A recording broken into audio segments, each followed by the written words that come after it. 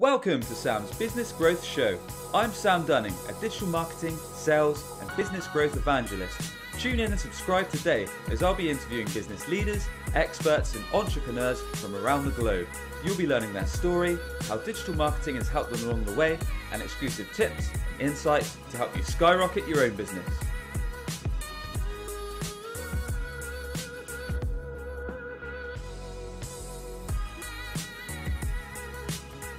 And welcome back to the show. I'm excited to be joined today by Kieren O'Connor. Kieren is the co-founder at GrowthStream, who have generated over 10 million in addition revenue over 18 months for their clients. He's gone from sales executive to commercial director um, in six short years. He's headed up an international expansion at the age of just 22. He won Rising Star of the Year award back in 2019. Um, he's generated over 1.8 million in sales by just the age of 19. He's lived in all all over the world, really. Orlando, Austin, Texas, and Uruguay. And he's been part of building over 20 plus industry leading sales team. Kieren, a warm welcome to the show, my friend. How are you doing? Great, great to be here, Sam. Thanks very much for the introduction. It makes me sound uh, probably a lot better than I am. But uh, yeah, absolutely. Thank you very much. Glad to be here uh, on this amazing sunny day. So yeah, looking forward to it. Yeah, man, beautiful day outside, but even yeah. better inside, tuning into the podcast or watching it from your home. Indeed, cool. Absolutely. Excited to chat, my friend. So, as always, there's there's a few things we want to learn from your good self, Kieren. We want to learn your story, um, how you got into the business world, and how you got to where you are today. We want to learn your top business growth strategies, and we want to know some of the digital marketing channels that you've had success with and that you recommend for everyone tuning in today. So, before we get to those interesting and juicy parts, let's find out a bit more about yourself, where you grew up, how you got into the business world and some of the key places you've worked at and lessons learned up to now, my friend. Yeah, it's a very interesting story and a, a story that I haven't told very often. So um, I'm looking forward to sharing it with you today. So um, for those of you who are listening, you know, I grew up in a place called Norfolk. Um, not many people uh, know where that is. You know, for reference, that's kind of Norwich, East Anglia, uh, in a small place called Bungay. And, you know, I went to school there and, and grew up there for sort of 10 years for, for most of my sort of uh, junior years. And kind of went to school as, as typical, you know, went through high school. And uh, I guess the biggest part of, of that early days was I wasn't academic. Um, I wasn't very smart when it came to a classroom. Um, as mentioned previously, you know, I suffered massively with dyslexia.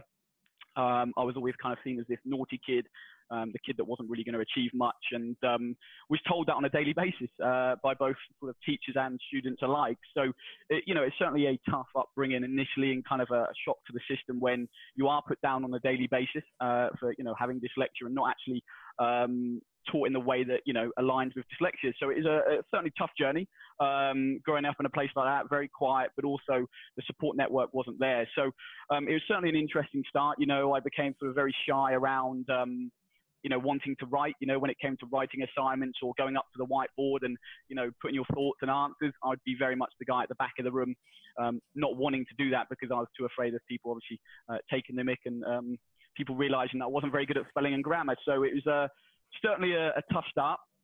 Um, at the age of sort of 16 when we left school, it was kind of between 15 and 16 where it really changed for me. Um, I can't tell you why, just something in my brain that really kind of resonated with me to sort of say, you know what, doesn't matter what people say, you can do this. Um, as we all know, when you take GCSEs, you're given predicted grades. Uh, my predicted grades were very much uh, F, E's, U's. They were, they were just, it's pointless basically. So um, I spent a year on really adapting my learning, you know, doing practice test after practice test after practice test, staying behind after school and really proving people wrong. Now, again, I wasn't a genius. I didn't pass with A's, but I got C's and B's, considering what I was predicted was a massive achievement for me. So um, you know, it's certainly an interesting start in, in terms of the school world and the whole dyslexia and uh, being put down. Um, at that age, I then had a decision really. You know, all of my friends and people that I knew were going to university, and I already knew that, you know, the classroom wasn't for me. Um, and I got actually offered my first job in insurance, which was uh, a company called Swinton um, where ultimately sure. they took inbound calls via Go Compare and all the different platforms. Um, and your job was to upsell, cross sell, um, and engage with the prospect and try and find referrals. And um, that was my first job into sales. And just something resonated. It, you know, it was amazing. It was amazing first job, um, done really well. Um, the call center was open from sort of 8 a.m. all the way down sort of 10 p.m. And I quickly realized that actually the harder I worked, the more I learned, I could make all this money. And the paychecks that I was taking home quite early on, in sort of 17 years old, 18 years old, was amazing and facilitated me buying nice cars and um, yeah, that was really what got me the bug of sales, really. Um, so that was where you got a taste for it, right? yeah, I mean that whole, you know, not having to work for an hourly rate and you could earn as much as you want depending on how much you put in, and it was something that was like, wow, this is amazing, and found myself really good on the phone and being able to engage with people really well, and um, I lost that fear of writing, you know, I lost that fear of, oh, do I say it? Do I go up to this? And it, it really resonated with me. I, I, can't tell you what it was. Um, it was amazing. Quickly become a top performer there uh, and just loved it. You know, I wanted to work every day, uh, you know, weekends, bank holidays. I just wanted to work. Um, and the paychecks came rolling in. So, yeah, that was kind of the early days. Um, Is there anything you could share with us before we move to, to the next venture for yourself, Kieren? Anything you could share with us in terms of how you became a top performer? Appreciate this is where you kind of found your love for sales. You realised that it was it was a passion yeah, of yeah. yours. Um, was it was it from your colleagues or were you reading books what were you doing to to make yourself stand out and get to the top in terms of hitting targets and making commissions um, it sounds a bit crazy but the the best thing i ever done and something going against the kind of typical grain was move out I moved out at 17 years old. It was the best thing I've ever done. Um, it makes you responsible. It makes you responsible for your bills you have bills to pay, you need to hit commission, you need to make sure you're at the top of that leaderboard every month. So that was kind of step number one. It's something that I advocate all the time, and I know again it goes against the grain of kind of stay at home, save for your first mortgage. For me, it didn't work like that. You know, the best thing I ever done was move out and really push myself to that next level.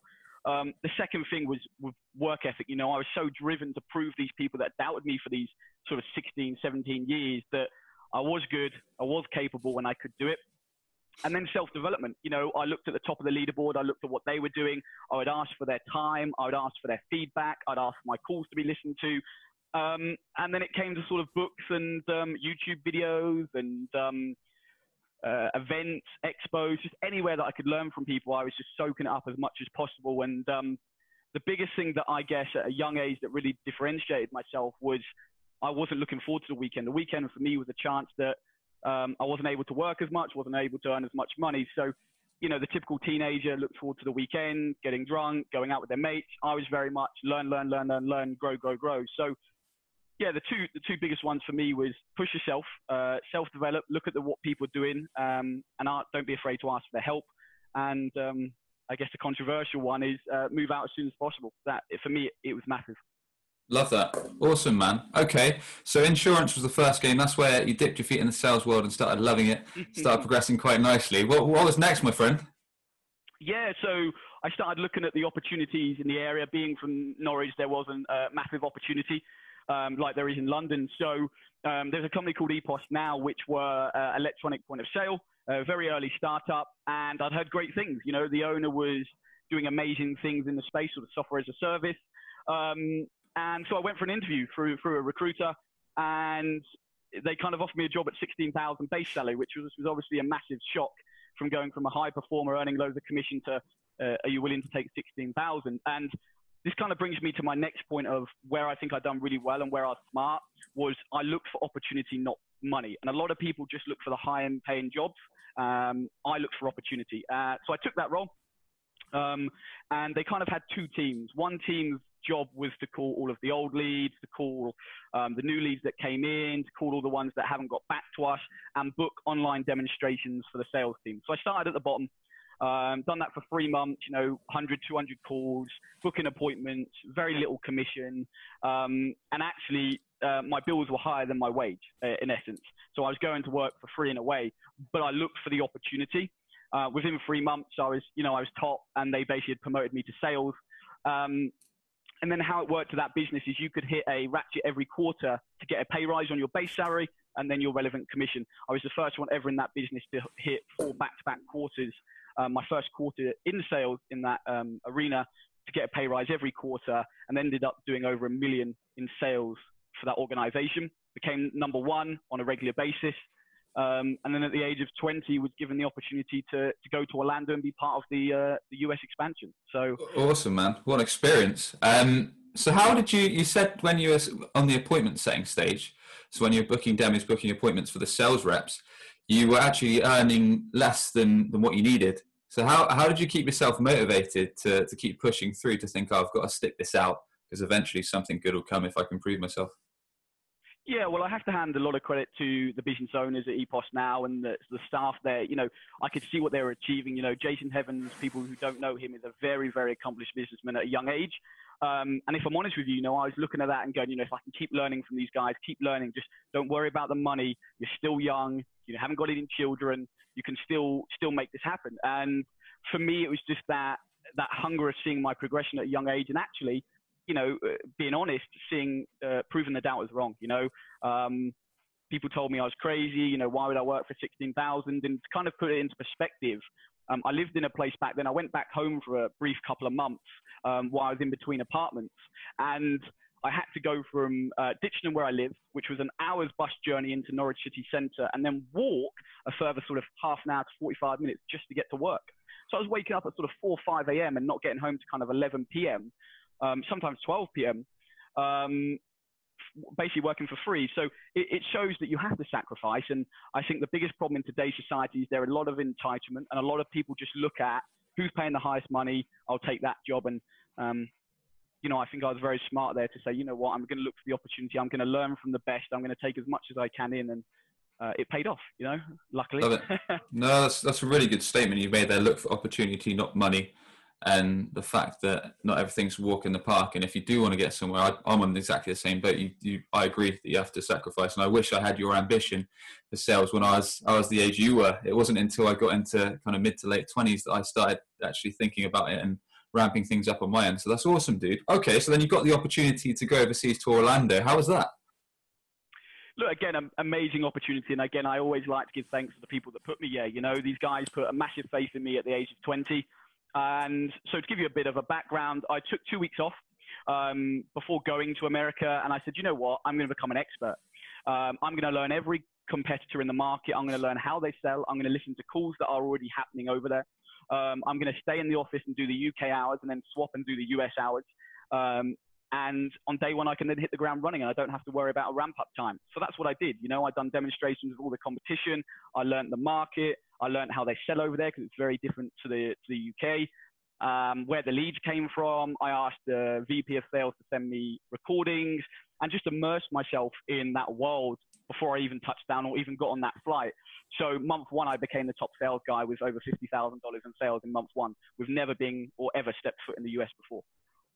Amazing, man. Okay. No, so it sounds like you just did as much research as possible. And like you said, really immerse yourself in it and um, yeah, had had great results. Cool. Okay, so you did that for a little while, and um, what what was the next venture for yourself? How long did that go on for, and what was what was kind of yeah, the next step? So sort of, I think that you know I left there around sort of 21. Um, and you know, I didn't want to go back to sleep in Norwich. No disrespect to Norwich, but I thought, um, and I was always told, look, the best sales guys are in London. And I was like, well, if the best are in London, I want to be a, amongst the best. And um, if I'm honest with you, I was like, can I can I um, compete amongst the best?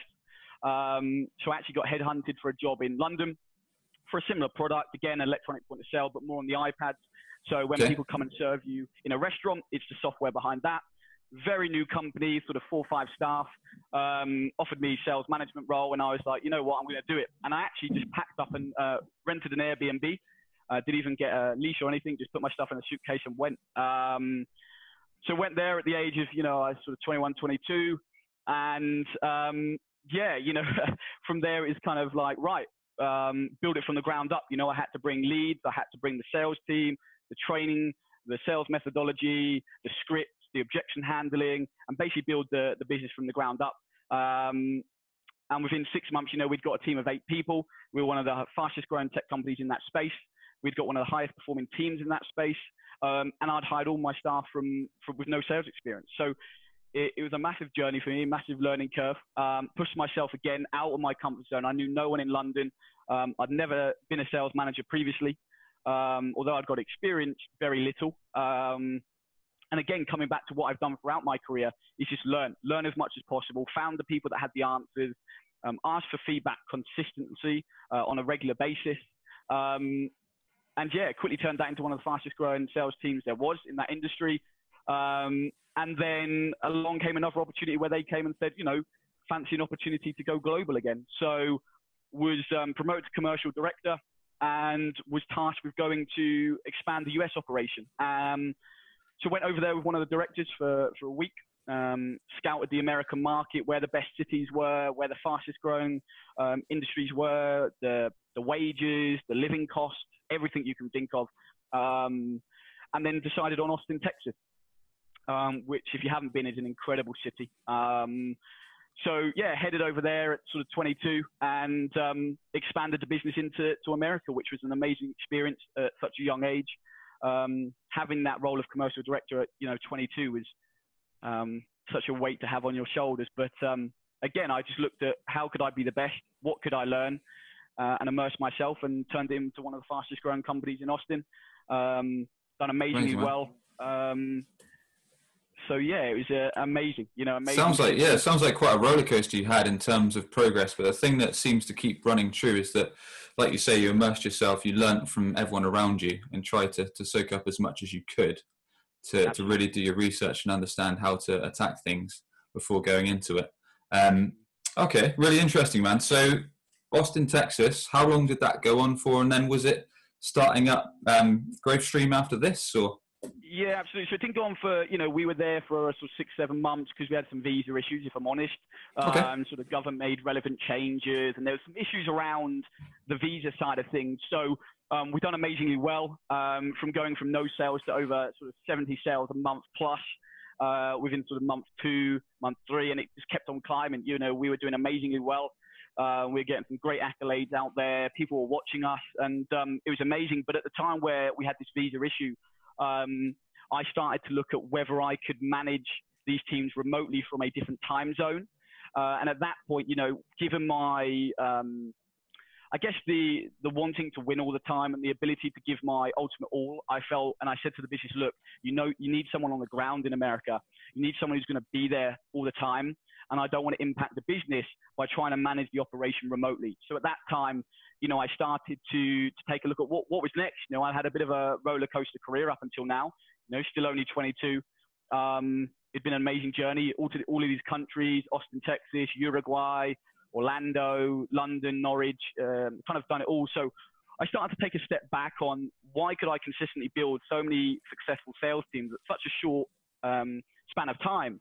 Um, and we all go there, you know, maybe it's because I work harder than everyone else, maybe because I've got this innate uh, skill. And actually, it came down to the fact that I got the foundations right. You know, I was, I was a stickler for foundations, um, making sure I build on the right foundations. As if you want to use this sort of uh, corny term, you wouldn't build a house without foundations. And that was my philosophy. Um, if I got the right foundations, I knew how to build on top of that and, and bring the right people in and train them in the right way uh, to, to, create an industry leading sales team at a rapid rate. So um, to answer your question, you know, I went to Uruguay for a short period of sort of three months to look at their development team, learn more of the development side, help them out on that side of the business, and, and just really bring the business together. Um, and, and like I said, you know, me and my business partner, Costa Coisi, who you'll see online as well, you know, we, we sat down, we like, you know, we, we've done amazing things and, and we started to formalize this process, uh, which we now call the, the four pillar process. And we were like, if we could execute this in hundreds of businesses across the world, this could be amazing. And, and really that started my obsession with bringing what I knew to hundreds of businesses across the UK. And it's a funny story because we made that decision while we're in Uruguay. And yeah.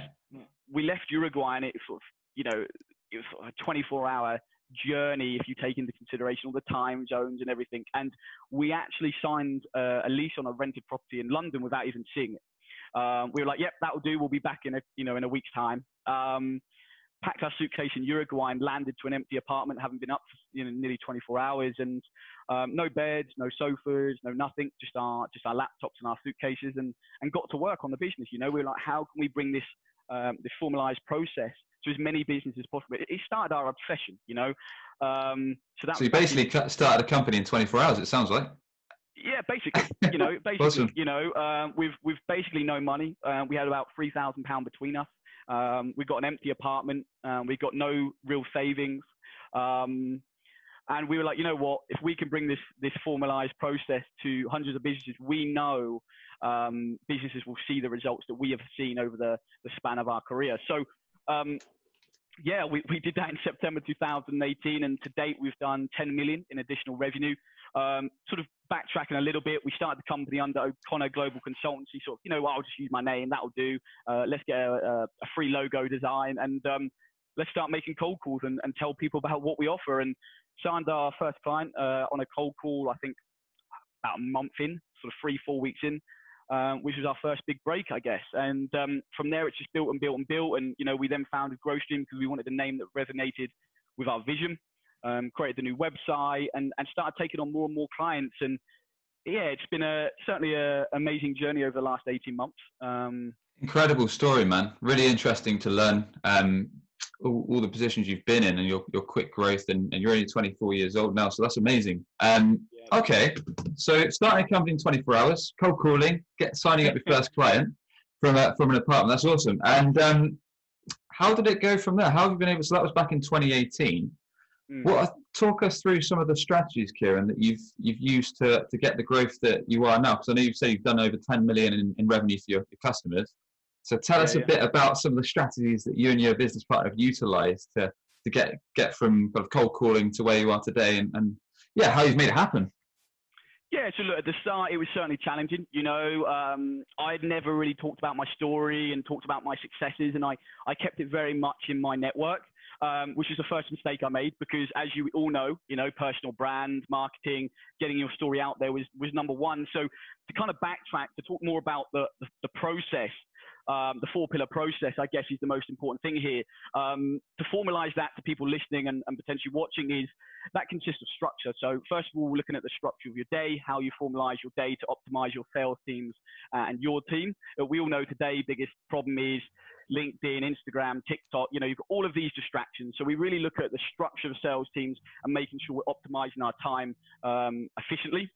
Then we go into the touchpoint process. Now, a lot of companies that we talk to don't actually have or know what a touchpoint process is. Ultimately means how many times you touch a lead to get hold of it. So then we look to implement a touchpoint process over a five, seven, and 10 working day period to make sure we're giving ourselves the best opportunity to get hold of them leads. Then we go into formalizing our follow-up. Uh, you know, industry average last year was uh, it takes on average five follow-ups to close a deal.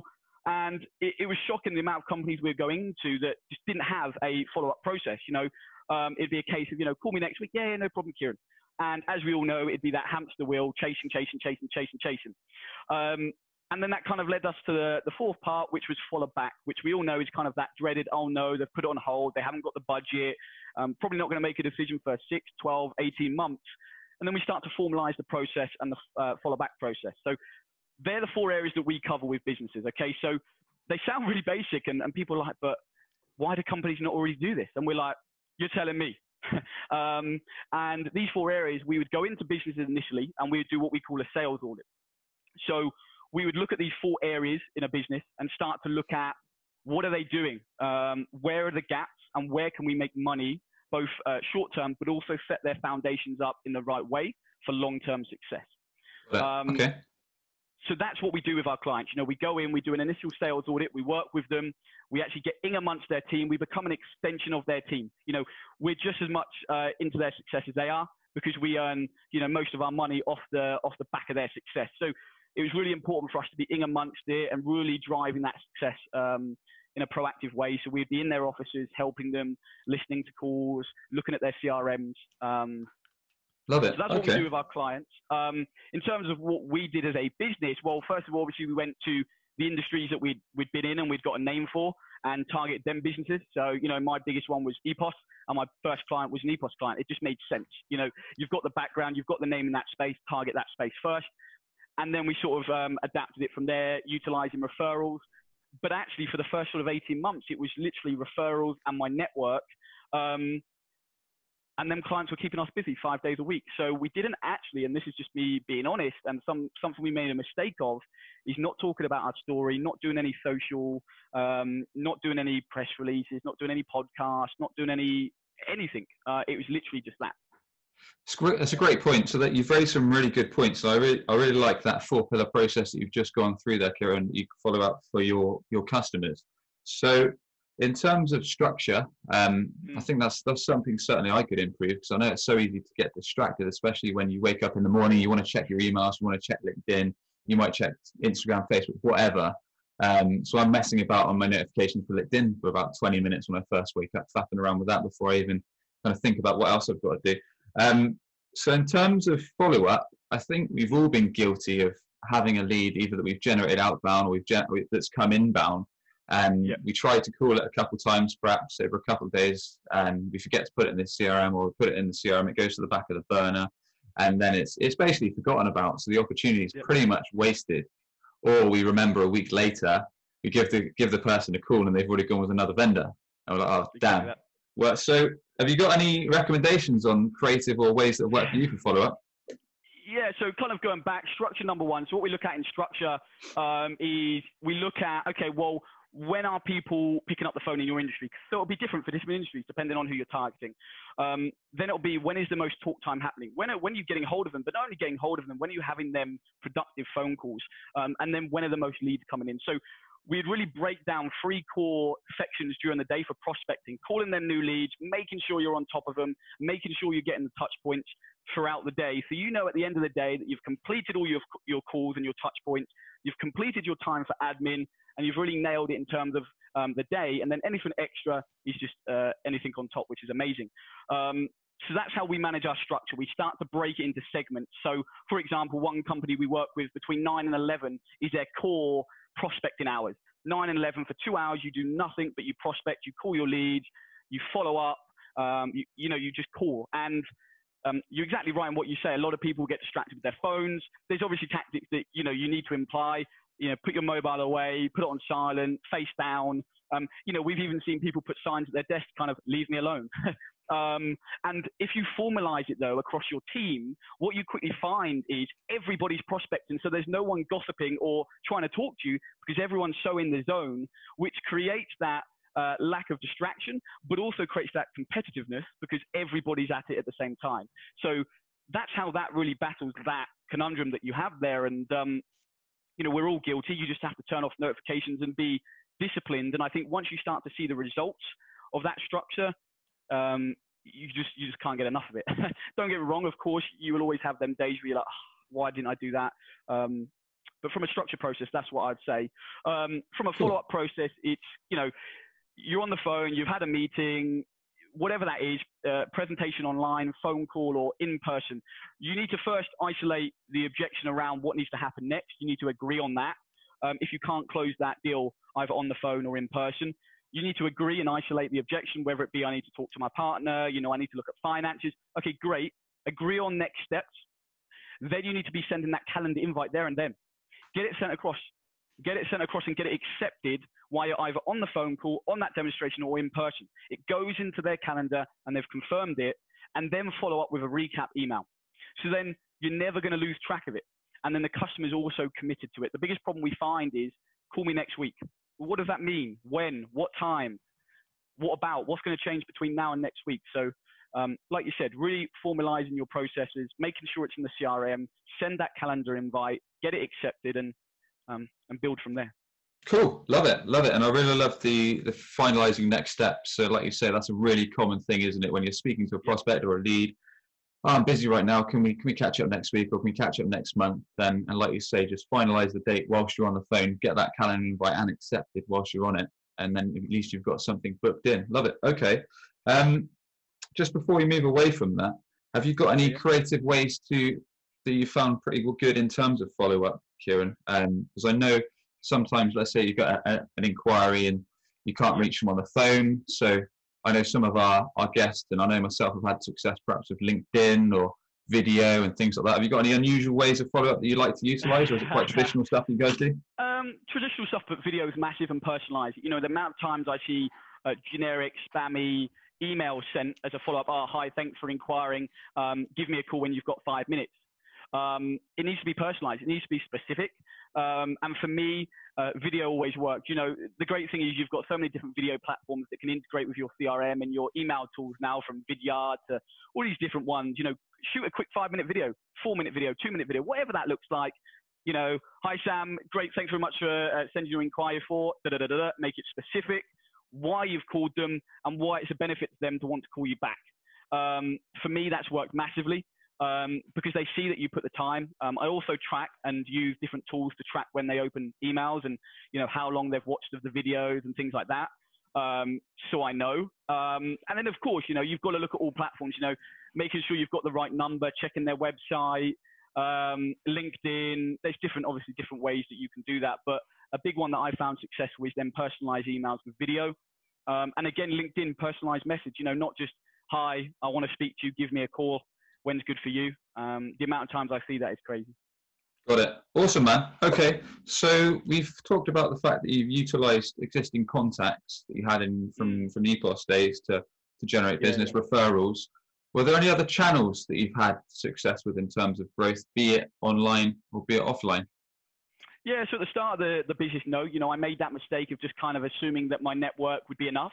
Um, and kind of it's only really over the last kind of since last November uh, where we start to say, well, look, you know, people resonate with the story, they resonate with the the process, they understand the importance of the the foundations, and once we start to get the story out there and show people um, how this process can change their direction of their sales team and really utilize the, the process, uh, it's been massive. So we started things like uh, seminars, you know, going to expo, uh, expos and discussing the four pillar process with people and how they can utilize it in their business. Um, we started doing the new website, um, Google Ads, um, LinkedIn, sort of, um, you know, we teamed up with some newspapers where they wanted to run our story around sort of, you know, the challenges that we faced from a young age and how we, we came here. So, yeah, just really started to speak about our story rather than just kind of keep it to ourselves. And it's been a massive success and it's helped us to continue the growth of the business up until now because a lot more people are knowing about us. A lot of people are knowing what we do and what we offer. So um, to answer your question, there's been a couple of things, you know, expos, Google ads, Facebook ads, uh, website, new website, obviously aligning with what we offer. Um, and then being a little bit more active on LinkedIn, you know, um, I was very shy, suffering with dyslexia. You didn't want to post because, oh, what if I spell it wrong? What if I look stupid? You know, what if people judge me?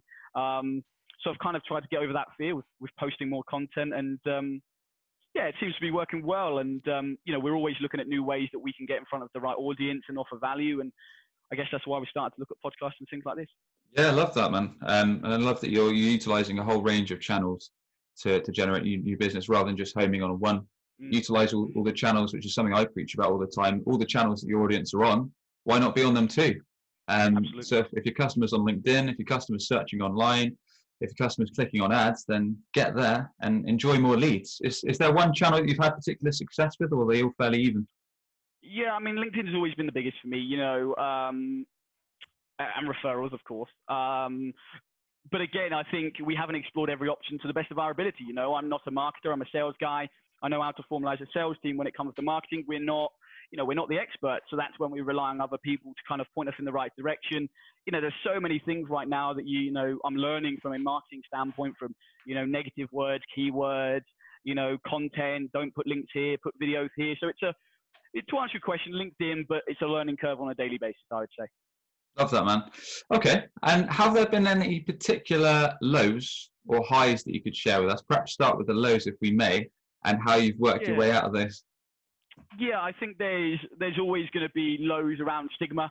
You know, we always face stigma around being 24 and running a, a, sales consultancy company. You know, the whole stigma around what do you know at 24? How can you possibly teach me um, how to build an industry leading sales team? And you know, it, it, got me down a lot. You know, don't get me wrong. You know, um, you kind of have that imposter syndrome feeling. You know, am I good enough?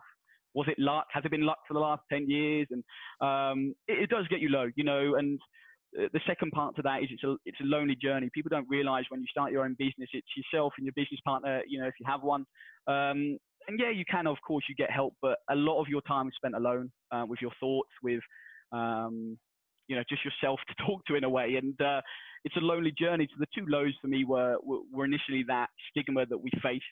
Um, and then the, the low part of, of being a sort of uh, entrepreneur, which I think everyone goes through. Um, so how do you how do you keep positive in those kind of times, Kieren, when it is kind of there's lots going on? Perhaps you've just lost a big deal and you're, you're feeling quite quite low and depressed, perhaps, and you are, like you say, by yourself, especially in the pandemic that we're in now. So how do you stay stay focused and on, on track? Yeah, I think it's about revisiting where you've come from for me. You know, you know, we talked about my story earlier. You know, I've gone from this child who's kind of nobody wanted to be around in terms of he was dumb, he was on, wasn't clever, he wasn't going to go anywhere, and I, you know, I've achieved so much at a young age, and you know, I've got the, the proven track record and it's just about going back and realizing and uh, I guess a bit of gratitude around, you know, look, you know, things aren't all bad. Um, you, you, know, you're always going to have them negative moments and negative things that happen, both the pandemic and, you know, losing deals and, and things like that. But it's about how you turn up and how you deal with them rather than what they are. Because I think if you procrastinate, it's just going to keep happening. Um, so you really need to take check yourself. Um, there's, there's different ways you can do that, and we all we all have different techniques. For me, um, it's going away and potentially um, reading a book. You know, just just get my mind off that particular subject. Um, going to the gym uh, or going for a run, going for a walk, especially with weather like today. Um, or just calling a friend, you know, and saying, look, um, I had this situation. Um, what's your opinion? yeah, they're, they're, kind of the, like the coping it. mechanisms I've I've found useful, but I'm sure there's different ones for different people depending on who you are. No, I like that, man. And what about talk us through a couple of the highs? Yeah, I mean, look, the highs have been of getting where we are today. You know, it, it's, it's amazing for us to be 18 months in and achieve the 10, 10 million in additional revenue. This is additional revenue. This isn't factoring in their normal revenue. Uh, we've gone into spaces that I've never played in before. Uh, and really just proven the point that if you get your foundations right and you follow this four pillar process, you will see amazing results in a short period of time. You know, we've seen clients have, you know, massive success in month one. Um, so for me, the highs are seeing the impact that it has on businesses. You know, I, one client that I have is a 13 year old business and they sort of um, procrastinated for years. They just couldn't get to that next level.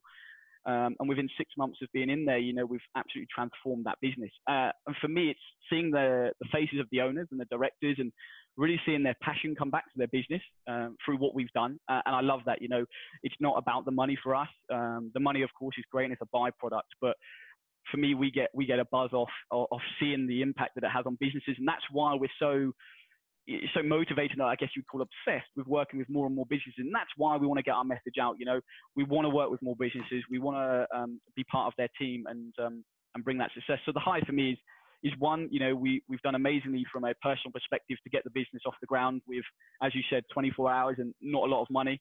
Um, so sort of 10 million in additional revenue for our clients, 500,000 in revenue for ourselves uh, as a business within 18 months. Um, so yeah, they're the highs. You know, sometimes you, you don't think about them. You kind of go, oh, I can do better. I'm not good enough. Come on, keep getting better. But sometimes you have to take check and say, look, you're 18 months in. Give yourself a break. good. Yeah, I agree. It's always good to time take take stock sometimes and reflect on on the achievements you had, and especially when you're in, in lower times to remember those. And yeah, as we say, not not procrastinate. Good. So we've covered your your four step pillar process, but is there any any other golden nuggets perhaps you could share with us, Kieren? For anyone tuning in that's thinking of starting their own company, or anyone that's just taken the leap and started their own business, any other tips that you could share with them that might help them be a success? Yeah, from a business standpoint, for me, it's it's go and just keep learning. Never stop learning. You know, whether that be books, YouTube, courses, webinars, whatever that is. Really go and find the people that know what you don't know um, and don't be afraid to admit that you don't know it. You know, um, we can't all be experts at everything. So from a business standpoint, you know, that's my number one advice. Keep learning. Don't let yourself procrastinate. Um, and set yourself clear goals um, and just do it. You know, just do it. You know, I was fearful for it. You know, oh, should I do this? Should I take another job? Should I just go back to that comfy kind of paycheck? Um, just keep doing it. Keep turning up. You will have bad days.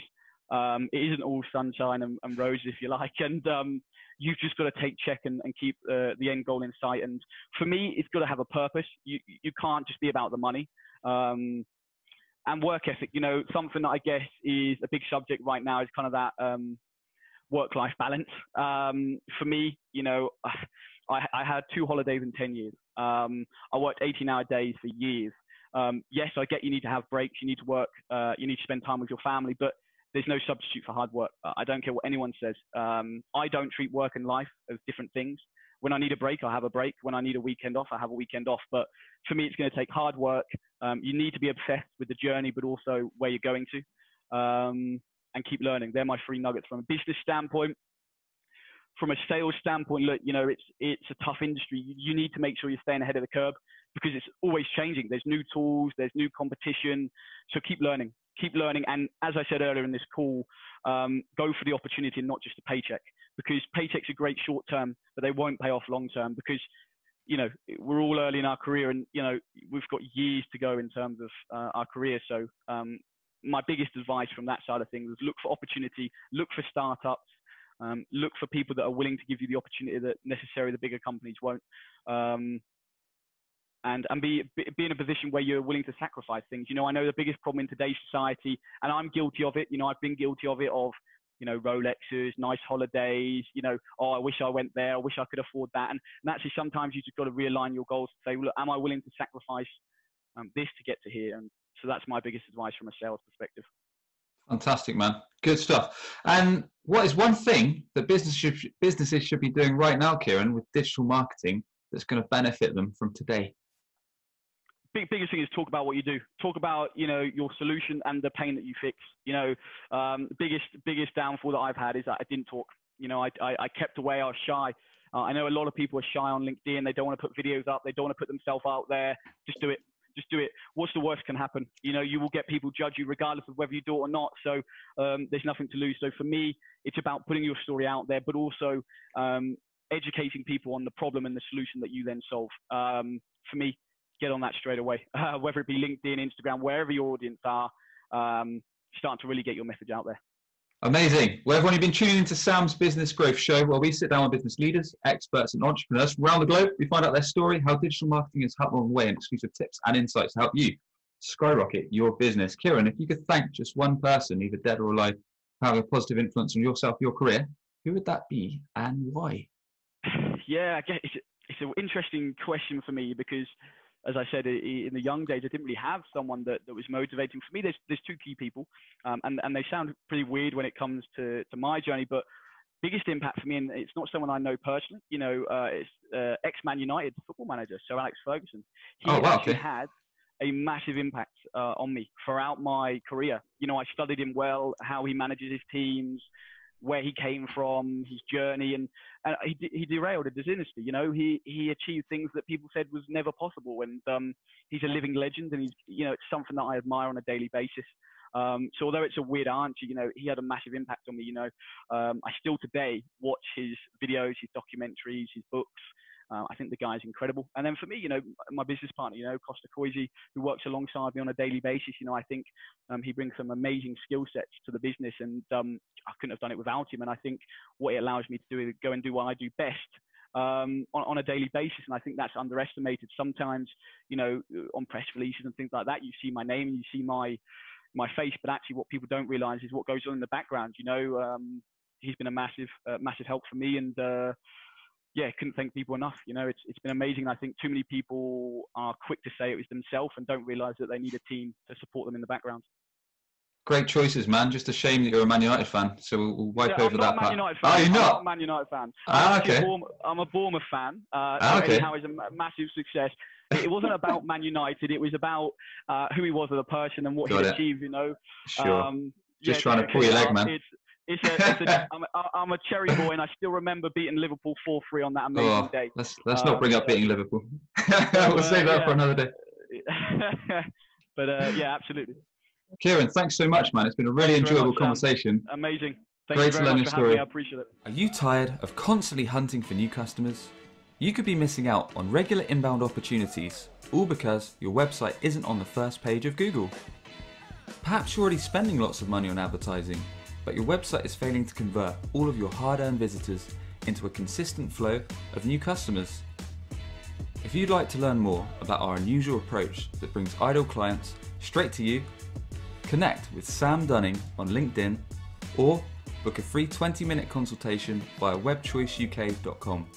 That's webchoiceuk.com. Subscribe today for more digital marketing, sales, and business growth tips from the experts.